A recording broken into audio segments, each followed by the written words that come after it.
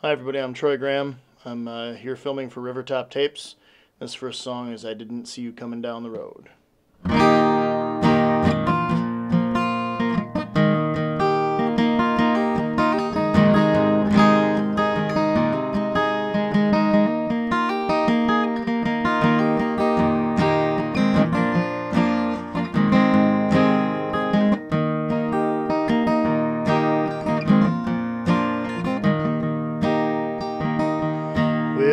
Didn't see you coming down the road. No, I didn't see you coming down the road. Well, I spent so much time being drunk beneath the pines that I didn't see you coming down the road. I don't wanna see your face no more. I don't wanna see your face no more. I remember being younger, you were knocking at my door. I don't wanna see your face no more. Cause I found me a lover that's pure and true. I found me a lover so pure and true. Turns the best thing I ever did was losing track of you. Cause I found me a lover so pure and true. And I don't know which way I've gone back home. And I wanna tell you I'm beside the telephone. If I never saw the way that you've gone back, how could I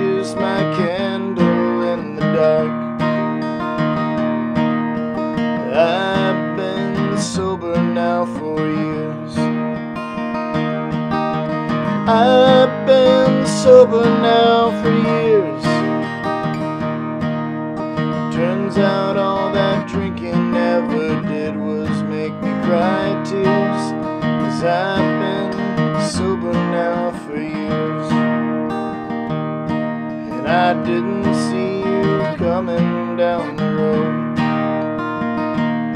No, I didn't see you coming down the road.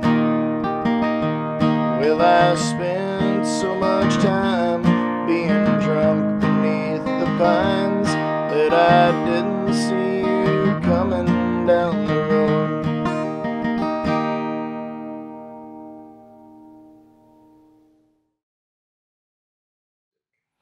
I got into music when I was a young child. I was like four years old. My dad sang in a church choir, and I went to that. And then uh, one day I just sang like one of the songs they were doing, and everybody there like realized like, oh, this kid can sing. Like, we should, you know, you should continue to do that. And so then I did, and I just I loved it. I loved like being in front of people. I loved entertaining people. I loved that it wasn't math or science or you know any of that kind of stuff. I loved that it was artistic expression, and I loved that I didn't have to have a reason to be weird.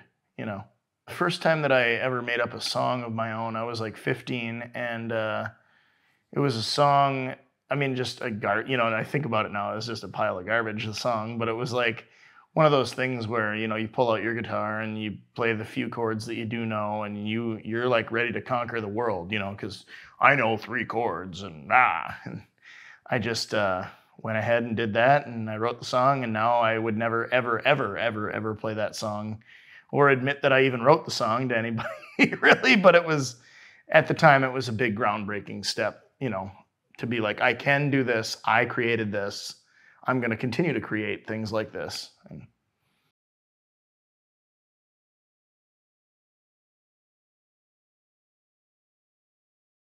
Hate. Hate is a waste of time.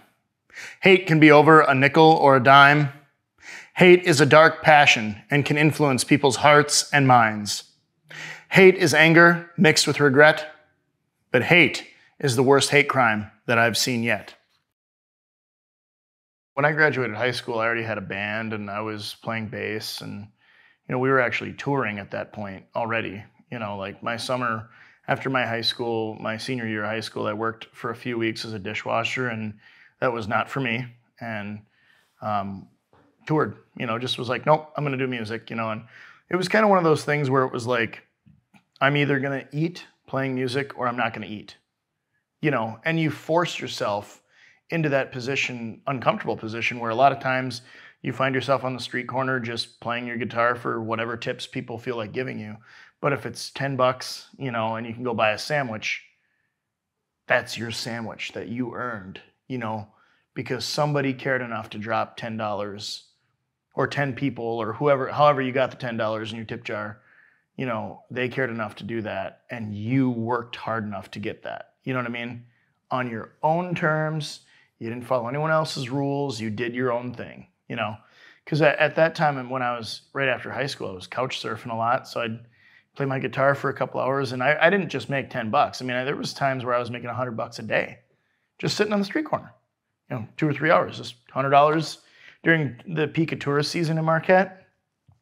Make a hundred bucks, go get a sandwich, rent a couple movies, and go back to whatever house I'm staying at. Or you know, I mean, I had my I was living with my dad part time too at that point, and you know, go back there or whatever, and go back down to the street corner again the next day. I mean, it was just at first it was like that's how gigs start right? And then people see you and oh hey i'm doing this house party or i'm doing this show here you know whatever. And you know but the one thing that i never did unless it was like a charity event like i'll always play a charity event. I'll always do like a cancer benefit or things like that for free. But other than that type of event i never played for free. Because as soon as you play for free people are going to expect that you know so there were times where I was like, well, I can't do it for free, but I can do it for 25 bucks. You know, I mean, even that little amount because it's still valuing my time at more than nothing. And I think the struggle is 90% of it. You know, I mean, you you don't like you don't put steel strings on a piece of wood and travel around the country and hope that those steel strings and that piece of wood pay your bills unless you're a little bit of a interesting person in the first place. You know what I mean? Like to actually go and do that without any safety net. You know, I mean, I never went to college except for a very short term. I was an acting student, but you know, then when I realized that I wasn't going to be Batman for a living, you know, it's like I had to like take a step back and be like, okay, like I don't have the money to go to college. I don't have it. Like, how can I make a, a living, but not just pay my bills, make a comfortable living? But at the same time i don't want to wash dishes or i don't want to do retail or i don't want to you know whatever because that that those type of jobs are just the type of jobs that will actually drive you insane after a while. You know what i mean? So like i was like well i'm going to play this guitar and this is what i'm going to do.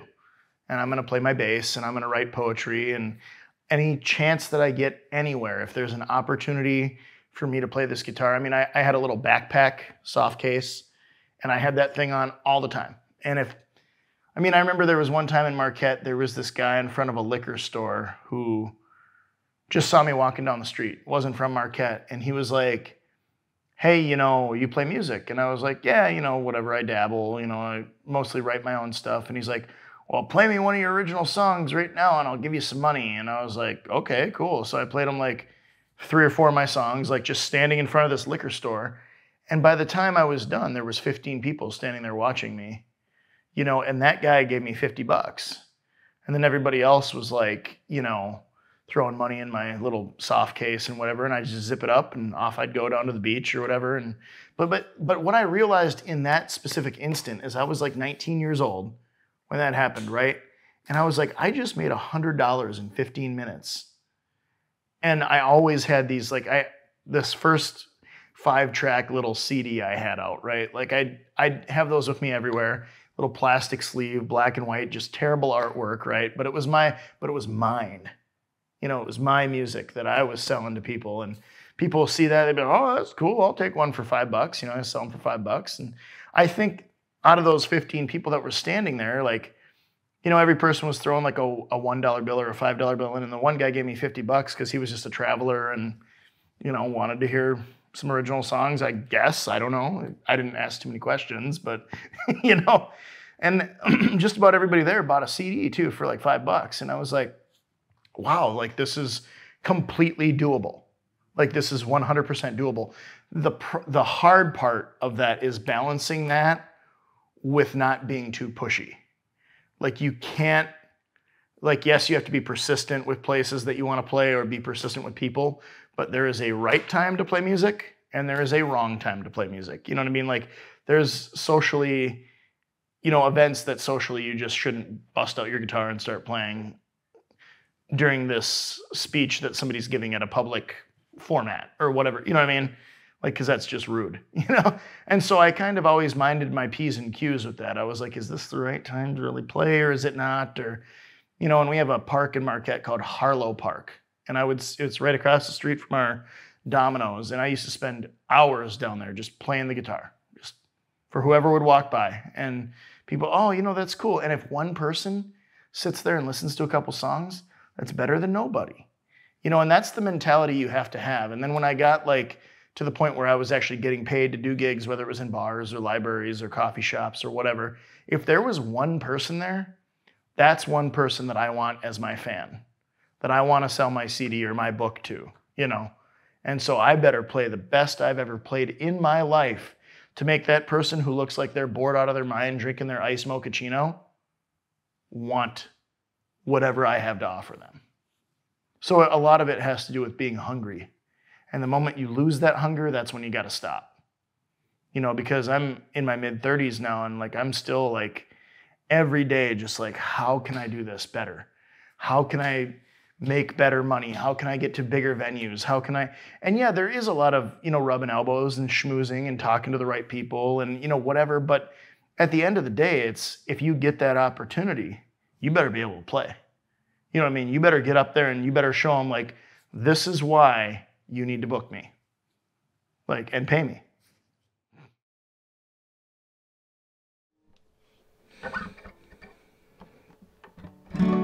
Next song is called Father Time.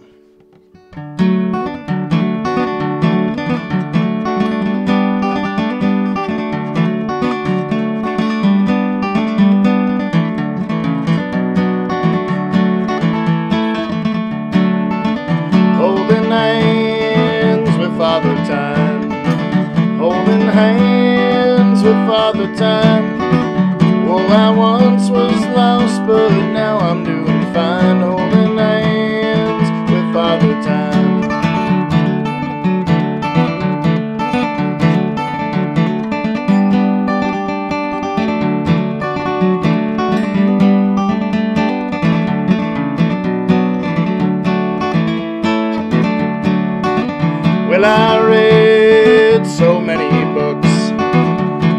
I got some dirty looks. And I know I'll trust in God and do what I don't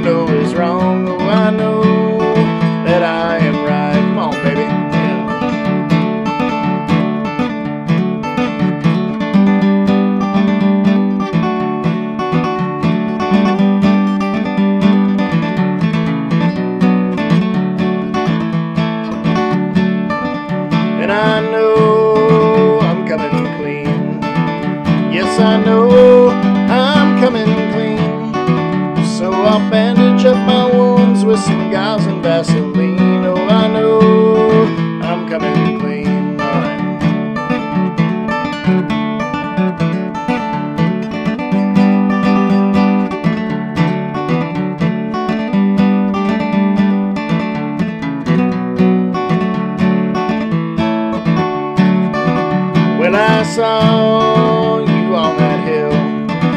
Yes, I saw you up on that hill. And with all your devilish smiles, I know you've been dressed to kill. Oh, I saw you on that hill. Holding hands with Father Time. Holding hands with Father Time. Oh, I once was lost, but now I'm doing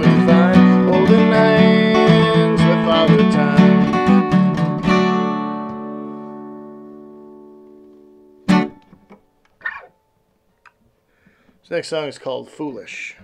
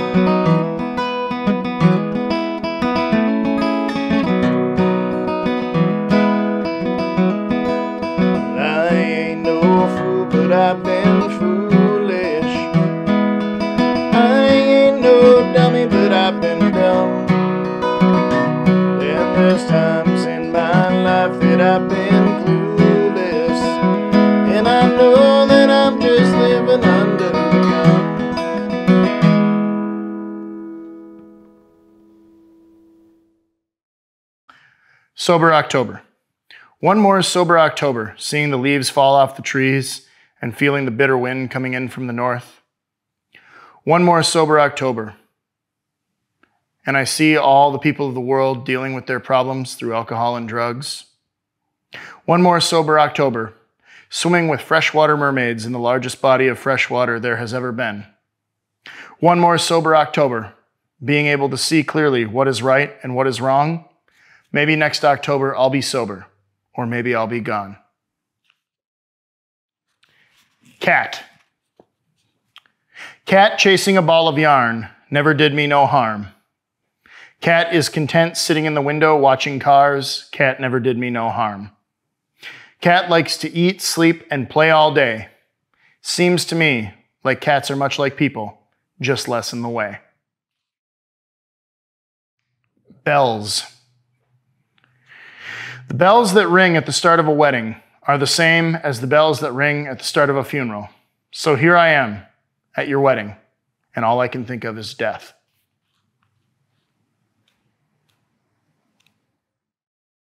With the poetry, um, I was writing songs, right? But I had too many song, too many words to write, put into songs, and so I was like, oh, you know, I should probably just uh, maybe write some poems down. And you know, we had uh, a couple of local people in Marquette who were doing these zine zine projects, which are like you know little paper zines that they put out, and you know, whatever. And this one girl was like, well, hey, I'll put some of your poems in there and, you know, whatever. And I was like, cool.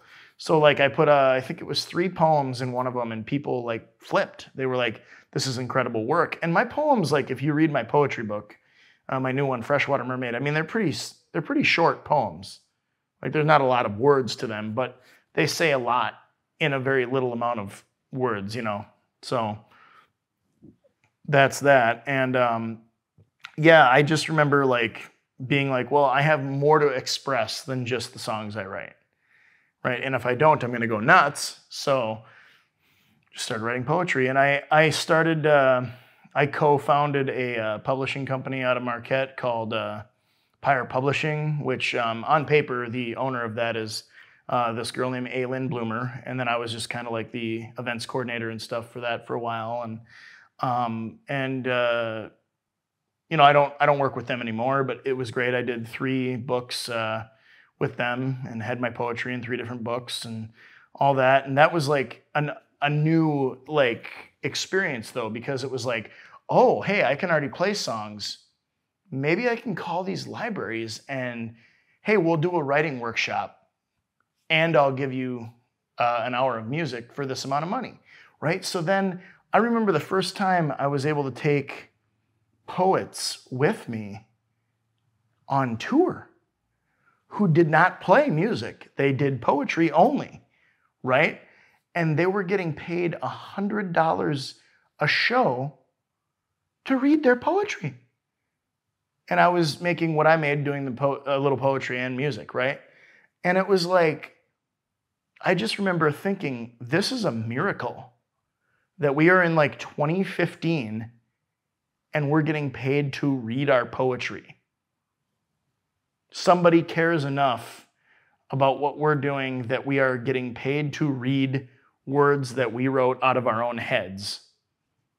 you know what I mean? Like it was just kind of a surreal thing. Like, and the libraries didn't even blink an eye at it because obviously libraries have poetry sections and are big fans of like you know, the times where there would be the coffee houses would be overflown before there was any social media or any cell phones or any distractions like that, where people would just come and listen to these poets speak and, you know, and and I felt like that was that was a time again, you know, because we would go all over primarily in this area, you know, I mean, we did like Roscommons, St. Ignace, you know, places like that, and Lake City, you know, and uh, we were doing all these libraries, and these people were like intently listening like intently listening to what we were doing.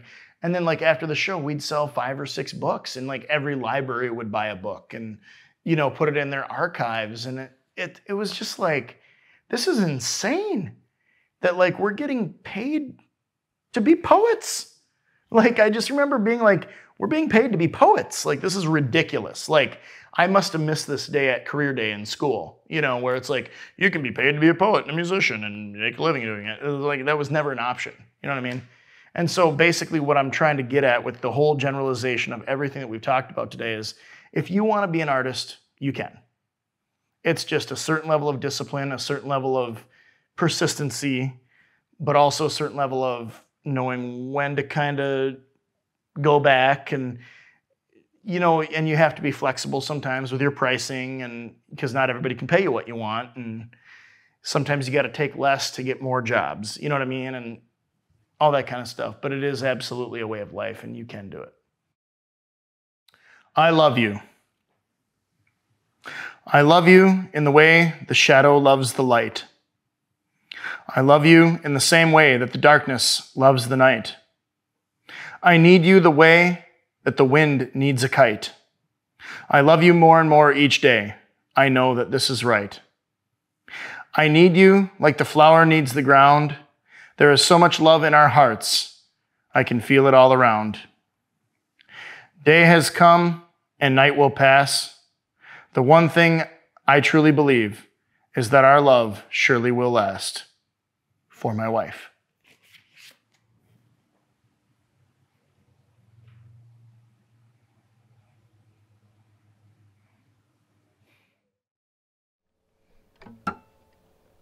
This next song is called When I Was a Younger Man.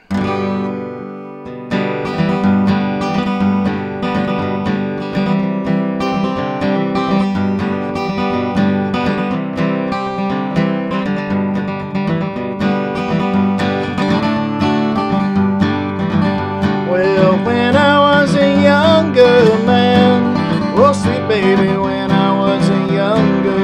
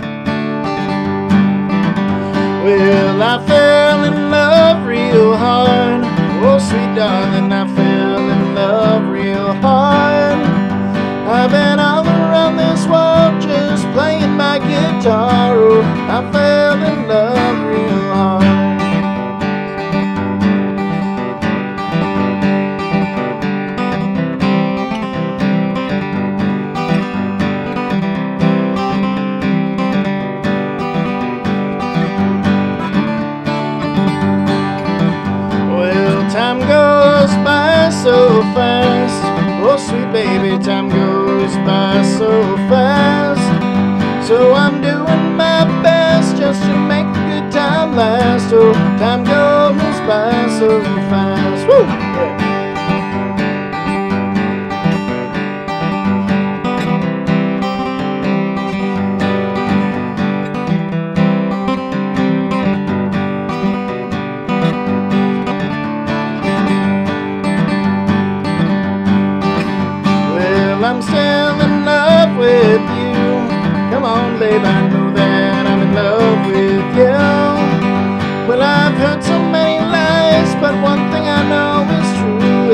I'm still in love with you.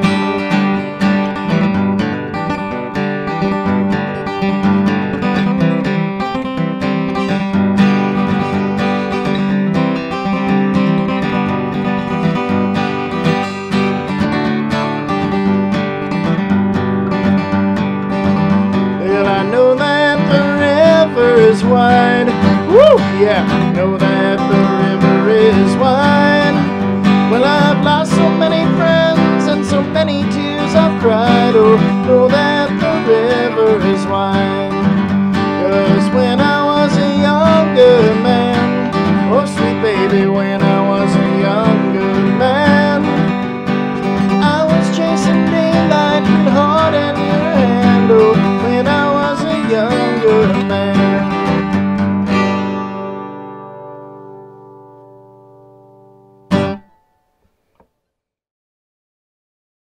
All right, so this is my new book here. It's called Freshwater Mermaids. Um, it's a collection of poetry and prose, a couple short stories in there. Um, as you can see, the artwork's really great. It's done by a local friend of mine. Uh, he lives in Munising. His name is Sean Wolfman.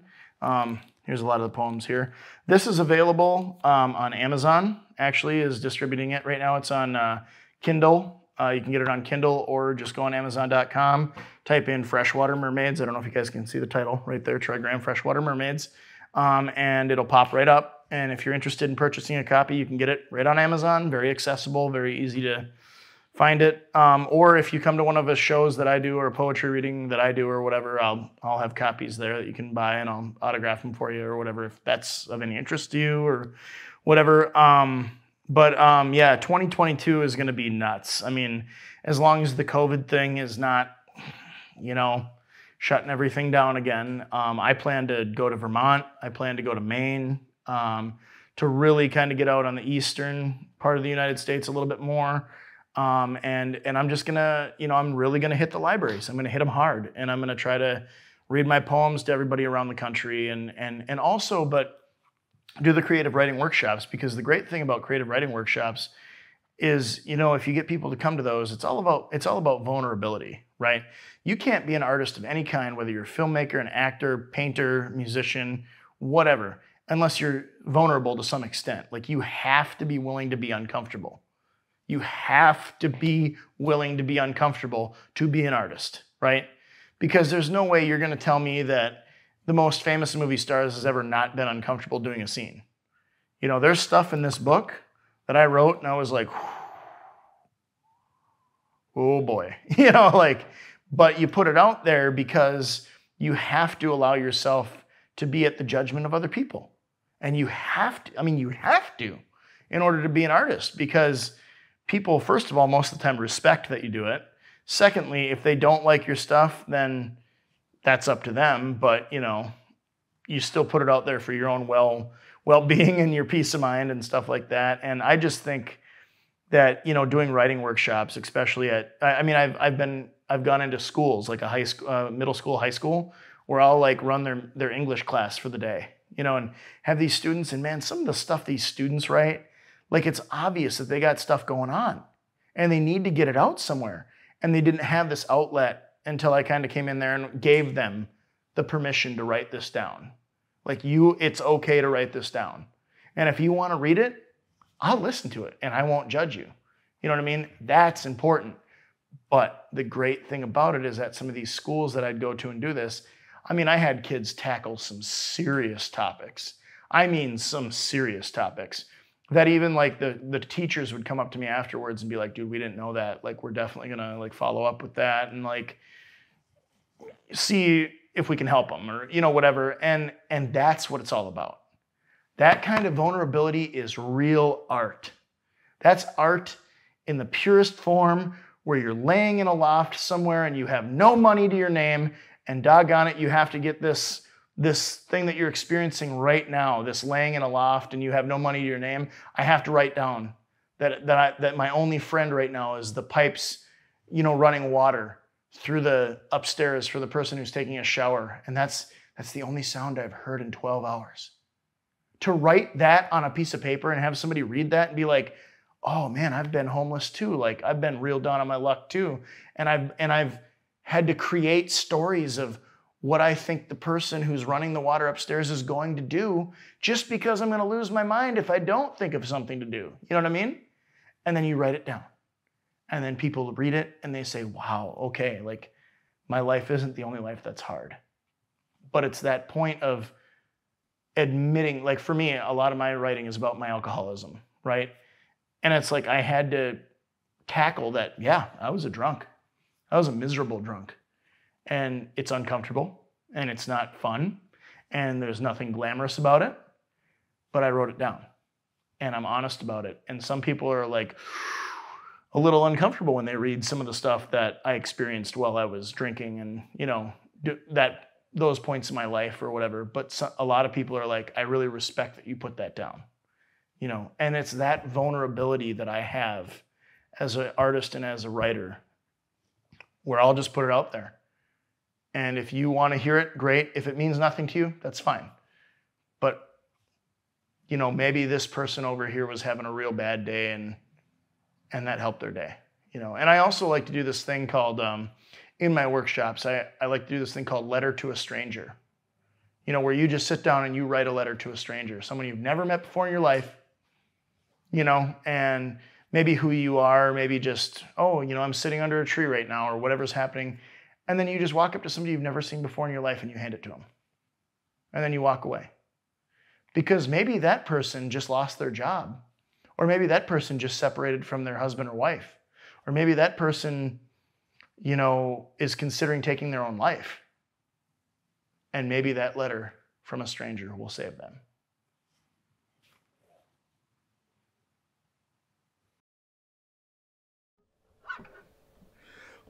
last song I'm going to do here today is called Lost and Found. Thank you so much. I'm Troy Graham.